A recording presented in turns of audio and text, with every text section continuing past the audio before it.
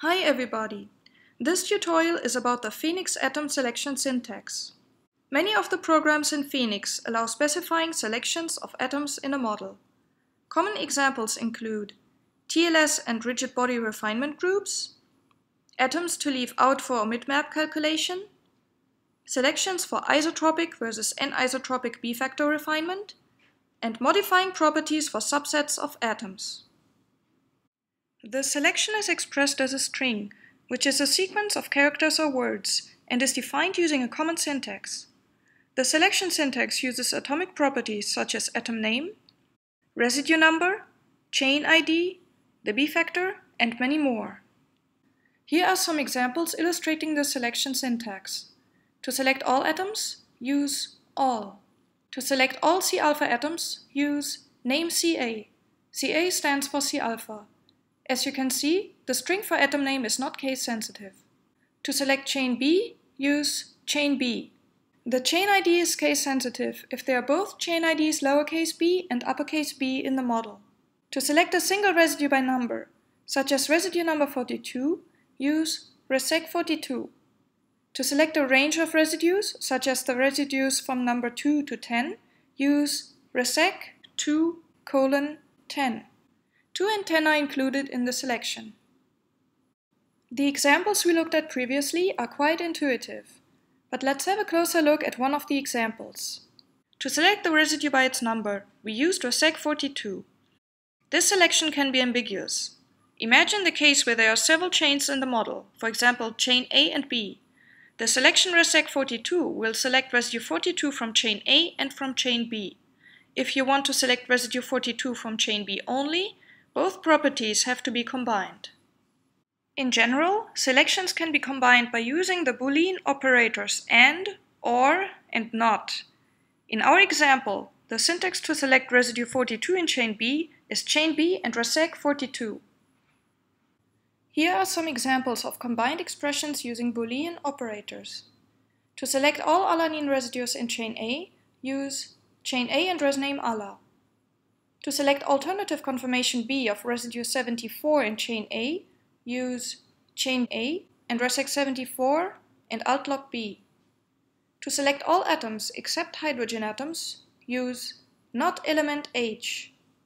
To select chain A and B, use chain A or chain B. The last example showed that a Boolean expression can be different compared to natural language. To say that we select both chain A and chain B, we use the word AND in natural language. However, the corresponding Boolean expression uses the operator OR. The expression chain A and chain B will yield an empty selection because there is no atom that can satisfy these two conditions simultaneously. Keep this in mind when combining expressions.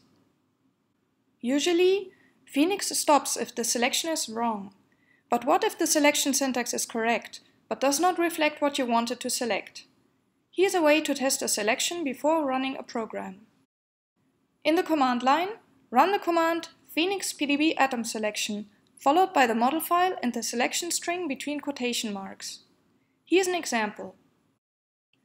Let's check for the selection string chain A and resseq7 in model 4GS3. So write phenix.pdb atom selection 4gs3.pdb chain A and resseq 7 in the command line. At the end of the standard output is a PDB string of the selection and the total number of atoms selected, in our case 9 atoms for residue number 7. Let's try residue number 6. This yields an empty selection, because the residue is not present in the model. This command line tool can be therefore used to quickly check a selection. It is also possible to select atoms based on their numerical properties. Here are some examples. To select all atoms with B factors larger than 50, use B factor greater than sign 50. To select all atoms with occupancy smaller than 0.5, use occupancy smaller than sign 0.5. There are also smart selections, but note that they may not be recognized by all programs. To select all water molecules, use water. To select the protein backbone, use backbone. To select all atoms within a sphere of radius 5 angstrom around residue number 20, use within, open bracket, 5, comma sign, resseq 20, close bracket.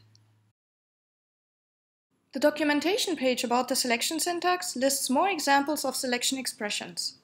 Also, there's a newsletter article about typical scenarios for occupancy refinement, which shows selections in the context of alternative conformations. You can find links for both texts in the description box of this video. I hope this tutorial was helpful. If you have any questions, contact us at help at phenix-online.org or tutorials at phenix-online.org.